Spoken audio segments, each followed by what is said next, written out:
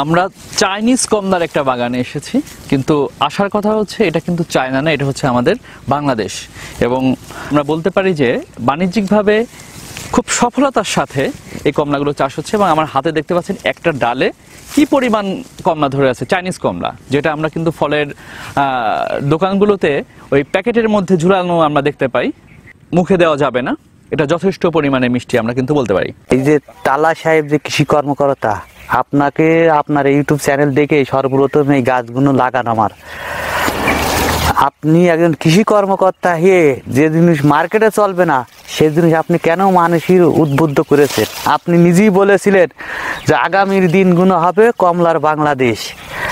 কিন্তু আমার জানা মতে এখন যা দেখছি, এই কম বাংলাদেশ, ঠিকই বাংলাদেশের জায়গায় বাংলাদেশ থাকছি, কিন্তু সর্বশান্ত বাংলাদেশ হচ্ছে, কমলার বাংলাদেশ আর হচ্ছে না।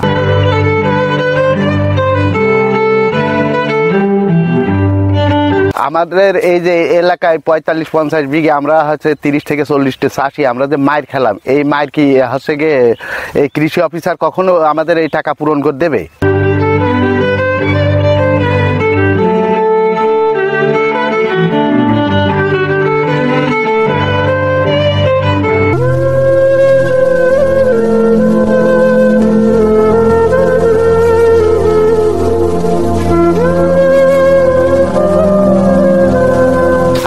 আমরা চাই আমরা ক্ষতিপূরণ চাই আমরা ক্ষতিপূরণ চাই।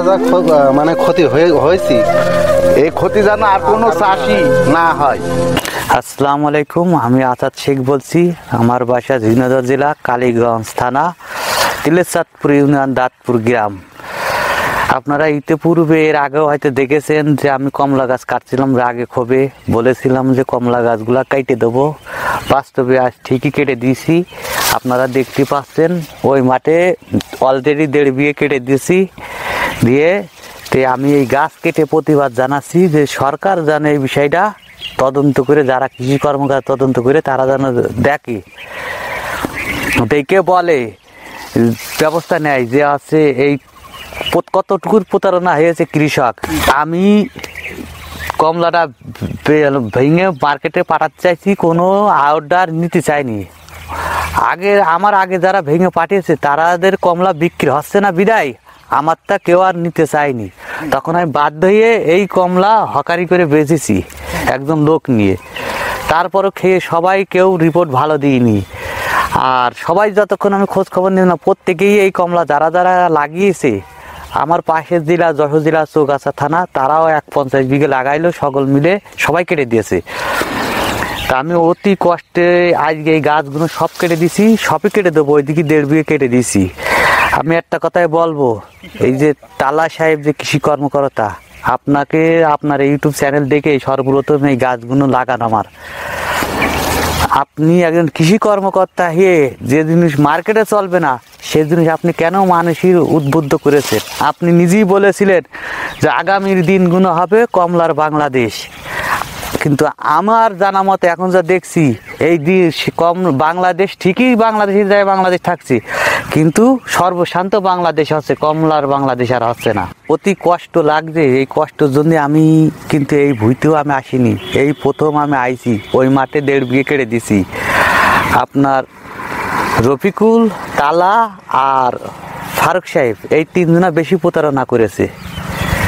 ফারুক সাহেবের দিয়ে রফিকুল আর তালা, ফারুক সাহেব আর আছে তালার দিয়ে শুরু, সর্বপ্রথম। যেহেতু ফারুকির আছে কমলা বাগানটা, তালা সাহেবই সর্বপ্রথম ইউটিউবে দিয়েছিল, আর সেখান থেকে উদ্বুদ্ধ হয়েছিলাম। তারপরে রফিকুল। রফিকুল আমার চারা দেয় এসে বাইরের থেকে চারা কিনে নিয়ে আসি ওনারা চারা চারা বেছে ম্যান্ডারিন চারা দিয়েছে। সেই হালকা লাল হলেই একটু রসও থাকছে না। সেই গালগুলো অলরেডি কেটে দিয়েছি, আপনারা দেখতে পারবেন ব্যাক সাইডই আর আমার মতন এরা প্রতারণা যেন কেউ না হন। যাই কিছু চাষবাস করেন, কমলা বলেন, যাই বলেন, যে চাষি করবেন, খোঁজ খবর নিয়ে চাষ করবেন। আর যারা এখনও ইউটিউবে বিজ্ঞাপন দিয়ে চারা বেচার ধান্দায় আছেন, তাদের আমি একটা কথাই বলতে চাই।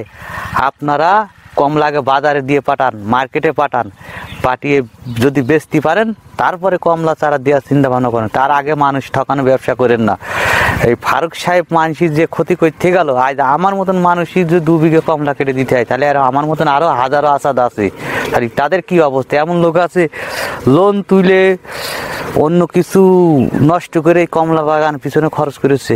তারা প্রত্যেকেই গাছ কেটে দিয়েছে, আপনারা সব দেখতে পারবেন যে পঞ্চাশ ষাট বিঘে এক জায়গায়। আমার একটাই দাবি, এরম প্রতারণা যেন কেউ না হবে না, যারা কৃষি কর্মকর্তারা আছেন তাদের প্রত্যেকের কাছে আমার একটাই দাবি, এই বিষয়টা তদন্ত করে দেখেন। আর যারা এই প্রতারণা করেছে, তাদেরকে বিচার তাদের আমি বিচার চাই সরকারের কাছে এবং কৃষি কর্মকর্তারা এটা তদন্ত করে যেন করে যেন দেখে। যে চাষিদের কত বড় ক্ষতি করে চাই চাষি উন্নত যে দেশ উন্নত, চাষি ধ্বংস তো দেশ ধ্বংস। যে দেশে শতকরা আশি পঁচাশি পার্সেন্ট কৃষক, সেই দেশে যদি এই চাষি যদি মায়ের খায়, এই প্রতারণার ফাঁদে পড়ে, তাহলে সেই দেশটা পুরোই ধ্বংস। কি আর কব বলার আর কিছু নেই।